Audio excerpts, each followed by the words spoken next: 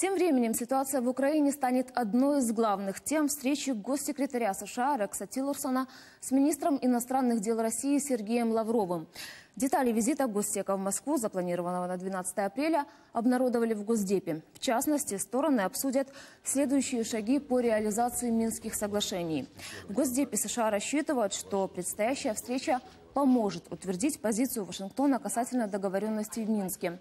Кроме того, Тиллерсон и Лавров обсудят ситуацию в Сирии, ядерную активность КНДР, борьбу с терроризмом и двусторонние соглашения России и Соединенных Штатов.